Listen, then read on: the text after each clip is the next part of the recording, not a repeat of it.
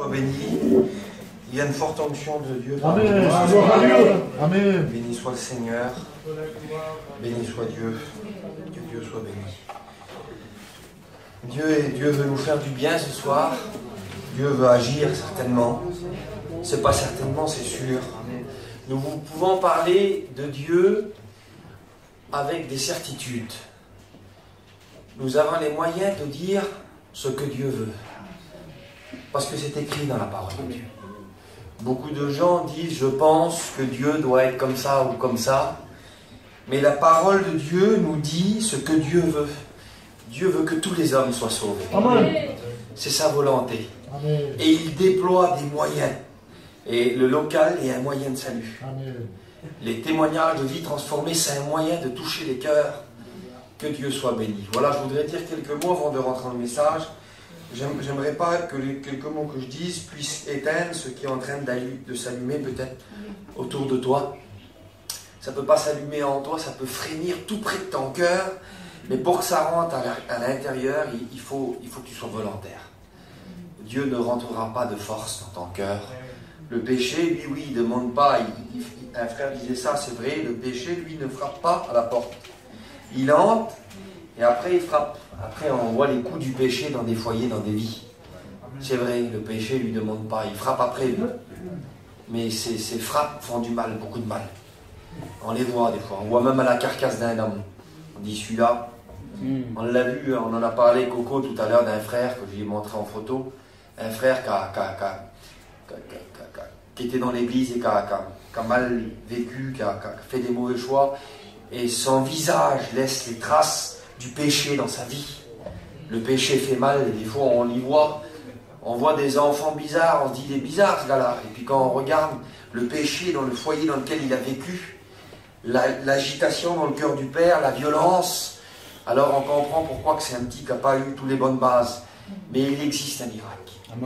Il existe un Dieu qui peut tout rétablir. Il existe, c'est pas des mots. Si vous ne me croyez pas, je ne vous force pas à me croire, moi. Je ne vous demande pas de me croire sur parole. Et Dieu aussi ne demande pas de croire sur parole. Il invite les gens à une expérience. Une expérience personnelle. À un prix personnel. À une foi personnelle. J'en veux pour preuve moins qu'une église. Moins qu'un local. Il y a des gens qui se convertissent sans église, sans rien. Moi, je me suis converti dans mon camping sur une place où il y avait tous des voleurs. Il y a 17 ans de cela. Il y avait un chrétien sur la place qui me témoignait de Dieu. Et, dans, mon, dans, dans ma petite caravane, j'ai rencontré Dieu. Dieu a su changer ma vie. J'aimerais vous dire ces mots-là, vous avez le moyen de voir si c'est vrai ou pas. J'aimerais bien que vous soyez euh, méfiants, comme ça je vais dire. Méfiez-vous peut-être même du message, du messager si vous voulez. Mais que méfiance ne vous empêche pas de mettre Dieu à l'épreuve.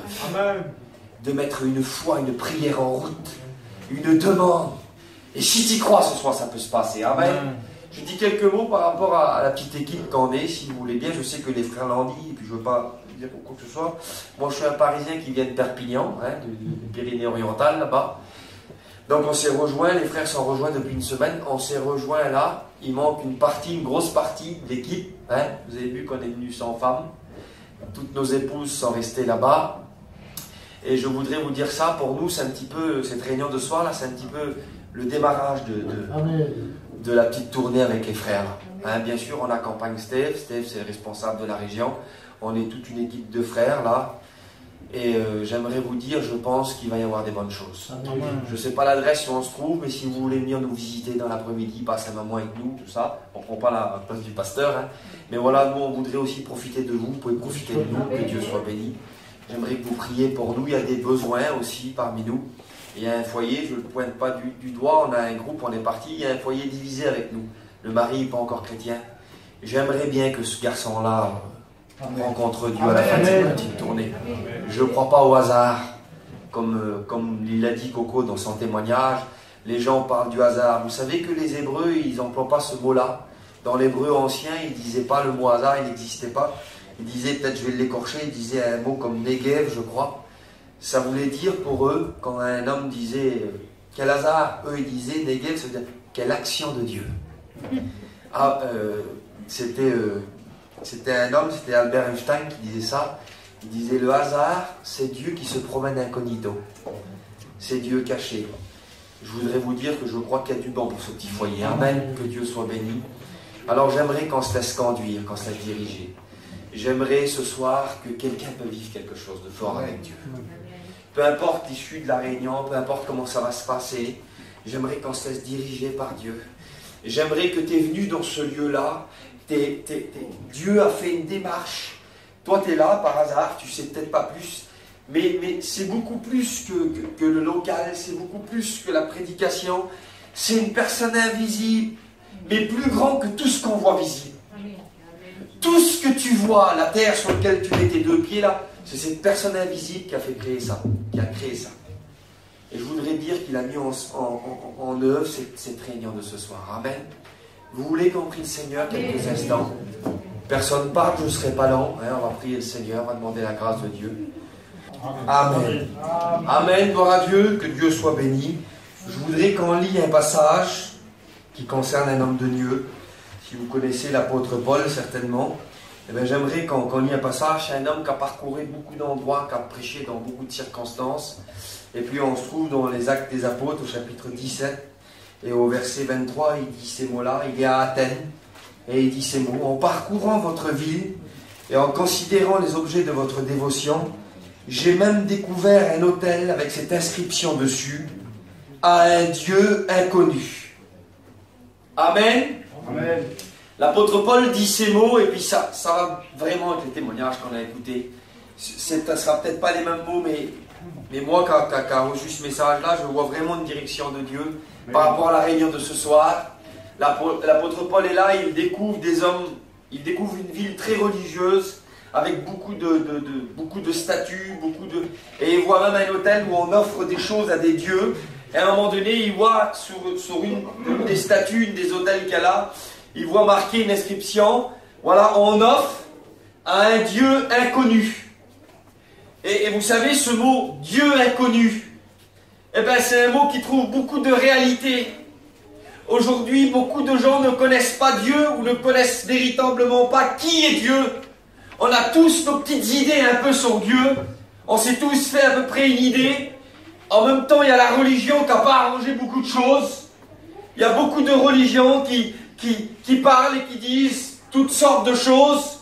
L'autre dit comme ça, l'autre dit comme ça. Et par rapport à ça, dans une réalité, certains sont là, ils offraient à un Dieu, mais qui en réalité ne connaissaient pas véritablement. Et l'apôtre Paul, l'apôtre Paul était de cet homme-là quand il a prêché ce message-là. Il a dû lire ce mot à un Dieu inconnu. Il a dû se, se repartir des années en arrière, avant même qu'il soit missionnaire, avant même qu'il soit pasteur. Il a dû être amené parce que c'est une expérience vécue. Paul a pu leur dire, il a pu leur prêcher ce message-là parce qu'il l'avait vécu. Si Paul serait de notre temps, ben, on aurait dit ce serait une espèce de djihadiste si vous préférez. Parce que la Bible parle de lui, tuer des gens pour Dieu. La Bible nous parle de lui dans les Actes des Apôtres, chapitre 9. Il était, il était là, il persécutait les chrétiens, il était contre ça. Il servait Dieu de tout son cœur. Et à un moment donné, la Bible dit dans Acte 9 au verset 5 que Dieu va lui apparaître dans la personne de son fils Jésus. Dieu le Fils va lui apparaître et quand il va lui apparaître, à un moment donné, Paul va dire un mot, il va dire Qui es-tu Seigneur? Il est en train de servir Dieu, Dieu lui apparaît, puis pour finir, il ne sait même pas qui il est. Il est en train de dire Qui es-tu? C'est le thème du message, le Dieu inconnu. Le Dieu qu'on ne connaît pas. Et Paul a prêché ce message-là, mais c'était du vécu pour lui. Parce qu'à un moment donné, il dit, mais je sers Dieu. Eh bien, Dieu lui apparaît. Et quand Dieu lui apparaît, il demande c'est qui? Il ne le connaît pas. Et là, c'est une révélation qui va se faire en lui. Eh bien, je voudrais vous dire que c'est ça l'évangile. L'évangile, c'est un message qui démarre à l'intérieur. Les religions, ils habillent l'extérieur. On met des rituels, on met des façons de faire. Tu devras être à telle heure, telle chose, telle maman. Tu devras être à tel pèlerinage, à tel endroit. Les hommes vont par des gestes extérieurs. Mais le véritable Dieu, c'est pas comme ça que ça se passe. C'est des révélations dans le cœur. La révélation du Dieu véritable nous accompagne de notre révélation personnelle de nous-mêmes. Elle nous montre qui nous sommes véritablement.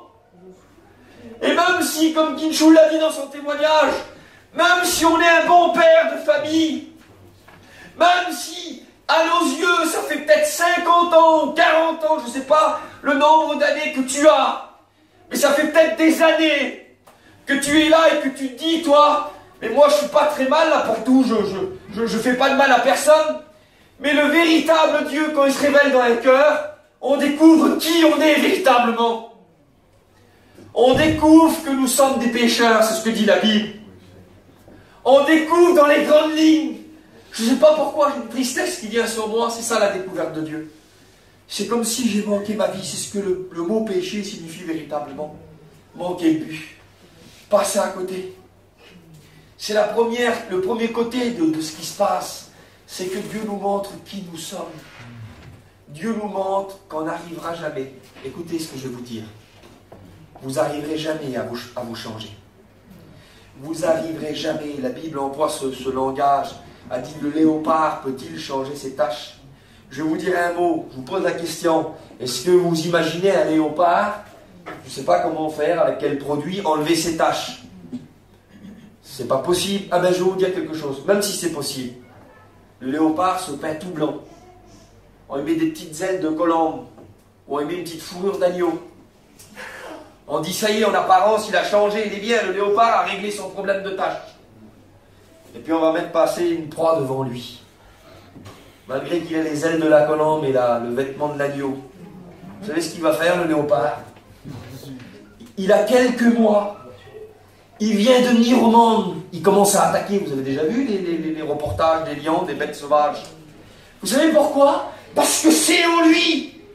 C'est sa nature. On peut régler le problème des tâches. Il y a de l'opposition, hein On peut régler le problème des tâches. On peut régler l'extérieur. Mais c'est pas le problème d'extérieur qu'il a cet animal-là. Il est né prédateur. C'est en lui. C'est plus fort que lui. Tu pourras faire ce que tu veux. Tu pourras attacher tes mains pour plus fumer. Tu pourras mettre une camisole à ta bouche pour plus te droguer. Quand on détachera tes mains, quand on élèvera le, scotch de ta bouche, tu retourneras à ton péché. Tu sais pourquoi? Parce que tu es pécheur. Le péché, c'est pas une action. Le léopard, c'est pas une mauvaise action qui fait, même s'il a tué une proie, il en tuera encore et encore, parce que c'est sa nature. Le péché, c'est pas une action dans notre vie. Le péché, c'est même pas ce qu'on fait. Les enfants veulent prêcher, tout le monde veut prêcher, mais je crois que Dieu va nous bénir ce soir. Je crois que Dieu a quelque chose pour nous. Soyez concentrés sur ce qui se fait. Je crois que Dieu veut sauver quelqu'un en particulier. Je crois que l'évangile s'adresse à quelqu'un qui n'a peut-être pas trop l'habitude de l'entendre ce soir et qui a la direction de Dieu pour toi. Que Dieu soit béni. C'est pas qu'une une, une, idée, c'est pas qu'une façon de faire, c'est pas qu'un maman, c'est plus que ça. Et Paul a vécu ça. Il a, a bercé dans la religion. Il a bercé dans, dans l'enseignement. Il est né dans les synagogues, Paul. C'est une expression que je vous dis. Mais c'est quasiment ça. Depuis qu'il était tout petit, à huit jours. À huit jours, il était dans le temple, Paul. Imaginez-vous, huit jours, c'est des, fois, le délai. Il y en a qui sont encore à l'hôpital. Quand ils sont nés, c'est 8 jours, ils sont encore à l'hôpital. Lui, il était à sa première réunion, 8 jours. À 33 jours, il était en train d'être présenté à Dieu devant le temple. Un, mois dans le temple. À 3 ans, il recevait ses premières leçons de, avec Dieu, avec un rabbin. À 6 ans, il commençait au pied. À 12 ans, il devenait euh, disciple de Gamaliel. C'est pas marqué dans la Bible, mais quand on lit les, récits des historiens de l'époque et de tout ça, on le comprend. Paul, combien d'années ça fait, écoutez, ça fait euh, des années, des années qu'il est en, communion avec la religion. Rien ne s'est passé. Et à un moment donné, quand il a lu cette inscription à Athènes, à un Dieu inconnu, il a dit, c'est moi ça, j'ai vécu cette expérience-là. J'ai lu que vous offrez même à un Dieu, et c'est marqué un Dieu inconnu, vous donnez à ce que vous ne connaissez pas. Paul l'a dit, moi je ne connaissais pas. Quand il est venu devant moi, Dieu, lequel je pensais servir, je lui ai demandé qui il était. Je voudrais vous parler de cela ce soir. Être je ne vais pas dire chrétien, peu importe. Il est faible le mot chrétien. Il ne veut pas dire grand-chose aujourd'hui dans notre pays. Hein. Je vais vous parler d'enfant de Dieu. Être enfant de Dieu, ce n'est pas un effort physique, c'est pas se forcer à aller à la réunion, c'est un miracle. De devenir enfant de Dieu, c'est miraculeux. C'est baigné dans le miracle. Ce miracle-là peut se produire. Peu importe si ta carcasse ne va pas changer. C'est à l'intérieur que sont tes plus grands problèmes. Jacques disait, mais d'où viennent vos luttes, vos passions, vos mauvais coups, vos, vos, les pleurs que vous faites pleurer à votre entourage, tout ce que vous faites de mal, ne viennent-ils pas à l'intérieur? C'est un problème d'intérieur. Mais l'intérieur, la religion n'a pas les moyens d'intervenir. L'argent n'a pas les moyens d'intervenir. Il nous faut plus que ça. Il nous faut une action de Dieu. Et c'est ce que la Bible disait. C'est Jean-Baptiste qui disait ça. Il disait, il y a au milieu de vous quelqu'un que vous ne connaissez pas. Il s'adressait aux Sanhédrins, aux pharisiens, à tout ça. Ces gars-là, ils avaient commencé partout. Ils avaient tout fait, ils avaient donné la dîme, même de la menthe, une, plante, le cumin, des, graines, des, ingrédients. Ils retiraient 10% de là-dessus. Ils n'étaient pas forts dans les détails. Hein. Ils avaient commencé partout, et en réalité, rien n'avait commencé. Il a dit, il est au milieu de vous et vous ne le connaissez pas.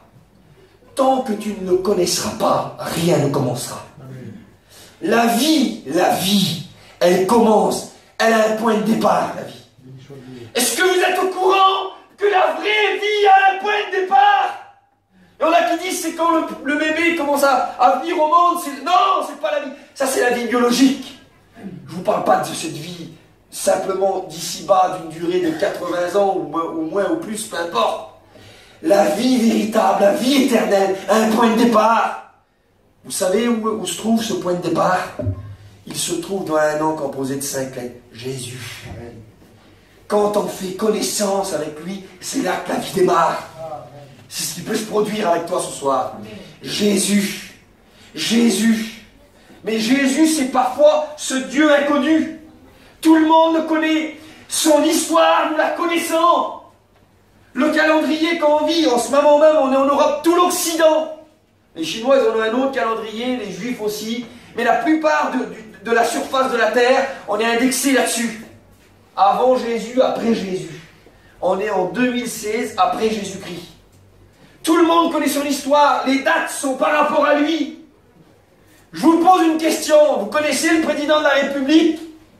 Il s'appelle François Hollande. Vous le connaissez? Non.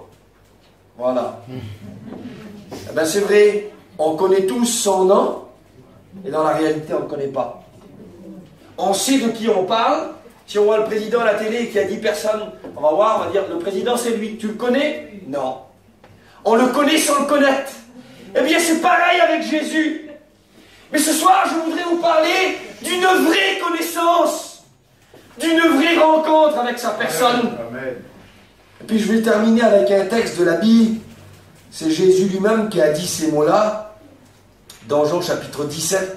Écoutez ce qu'il a dit au verset 3. Or la vie éternelle, c'est qu'ils te connaissent, toi, le seul vrai Dieu, et celui que tu as envoyé, Jésus-Christ. Amen. Il est dit, la vie éternelle, c'est qu'ils te connaissent, toi, Seigneur. Et celui que tu as envoyé, qui tu as envoyé? Jésus. La vie éternelle, c'est de le connaître. Mais quelle sorte de connaissance? La connaissance qu'on apprend à l'école, on va à l'école, on apprend la géographie. On nous explique là-bas, il y a le Colorado, il y a, le Nevada, on nous parle de l'Amérique. On connaît l'Amérique en théorie. On la connaît parce qu'on nous l'a expliqué, mais en réalité, on ne la connaît pas.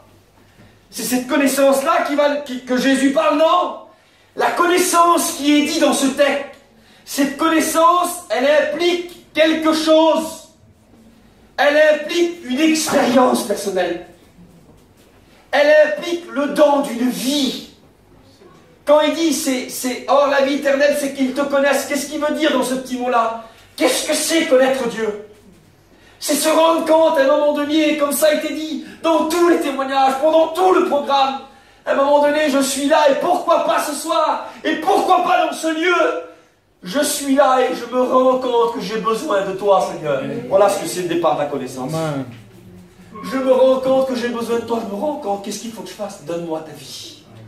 Seigneur, je donne ma vie à toi. Voilà ce que c'est le connaître. Le connaître, c'est le recevoir. Le connaître implique se tourner vers lui. Le connaître implique lui demander son aide. Le connaître implique la repentance. La repentance, c'est le désir de changer de vie et de vivre selon, selon ce que lui veut, de vivre sa volonté. Il veut nous amener à cela. Le Dieu inconnu peut devenir ton Dieu ce soir. Ce n'est pas un Dieu parmi les dieux. Il est le seul Dieu véritable. Il est le point de départ de la vie. J'aimerais qu'on ferme nos yeux, si vous voulez bien. On va prier le Seigneur, que Dieu soit béni. On va, on va, je vais vous inviter à vous recueillir quelques instants. Je vous demande par respect, pas pour nous, vous faites ce que vous voulez.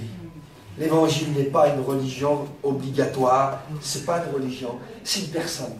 Cette personne vous est proposée, elle vient à votre rencontre par le biais d'un témoignage, par le biais d'un message, par le biais d'une pensée de ton cœur. C'est pas possible. Bah, c'est ça la vie alors. Ma vie se résume à ça alors. Ta vie vaut beaucoup plus. Vivre sans le rencontrer, c'est manquer sa vie. La vie commence quand on le rencontre. Vous pouvez le vivre ce soir. On sent que la réunion est faite ce soir. On est, on est conscient, on est sensible au Saint-Esprit. On sent qu'il y a une opposition, il y a un combat. Bien sûr qu'il y a un combat. Parce que Dieu voudrait te sauver. Mais j'aimerais te dire que si Dieu existe, le diable aussi existe. Et lui, il ne veut pas que tu sois sauvé. Lui, il veut que tu restes dans ton raisonnement, dans ta pensée. Va plus loin. Viens jusqu'à une demande sincère du cœur. Une expérience personnelle entre toi et Dieu, même pas orale. Si tu as honte de le faire, ne le fais pas. Ne prie pas au haute voix, ne parle pas, fais-le à l'intérieur de ton cœur. Jésus, est-ce que tu es vraiment ce qu'il me faut? Est-ce que j'ai compris le message? Euh, Ce pasteur est en train de te dire, en train de me dire que tu es ce qu'il me faut. Que ma vie n'a de sens que si tu rentres dans ma vie. Alléluia. Jésus, si c'est vraiment ça, fais-moi le ressentir. Fais-moi le connaître. Je voudrais te demander de tout mon cœur. Nous prions le Seigneur ensemble. Seigneur, tu vois ceux qui sont là.